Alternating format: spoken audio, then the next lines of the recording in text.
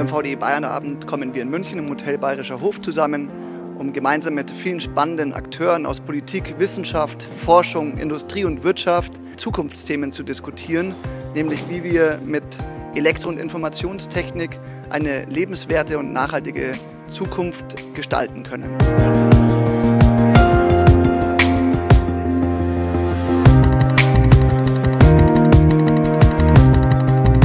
Deswegen haben wir über 200 Leute hier heute zu Gast. Ich bin sehr gern zum Netzwerkabend äh, des VDE gekommen, weil für uns, für die bayerische Staatsregierung, die Vernetzung unheimlich wichtig ist. Bayern ist stark, Bayern ist Champions League in vielen Bereichen, was die Arbeitsplätze betrifft, was die Innovation betrifft. Aber das geht nicht ohne starke Partner und der VDE ist ein ganz starker Partner.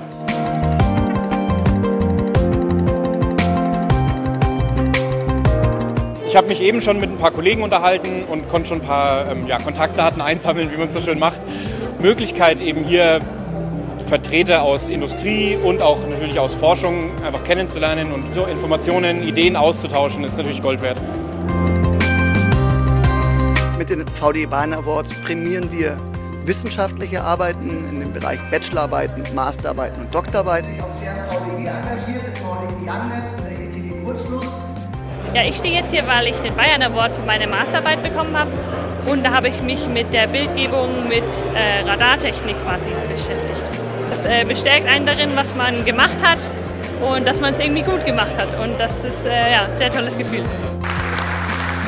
Im Vordergrund stand äh, die Brücke zwischen Wissenschaft und Wirtschaft, wo wir heute den großen Handlungsbedarf sehen, dass wir neue Produkte in der Wirtschaft äh, entwickeln, eben mit unserem Nachwuchs, den wir aus der Wissenschaft äh, dann äh, in die Unternehmen bekommen.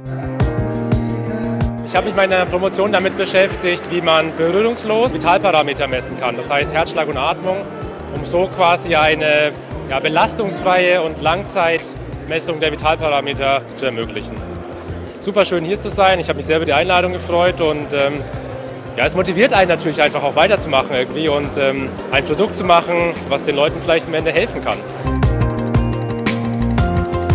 Herzlichen Glückwunsch zum VDE Award 2022. Wir machen datengetriebene Leistungselektronik, um die Batterielebensdauer um 60 bis 80 Prozent zu verlängern. Für alle Anwendungen, wo Batterien drin sind. Das ist wirklich überall sinnvoll.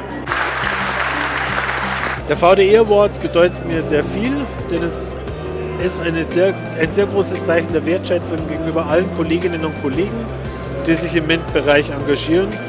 Und es freut mich auch für alle Schülerinnen und Schüler, die sich im MINT-Bereich engagieren, ohne die wir diesen VDE Award nicht erhalten hätten.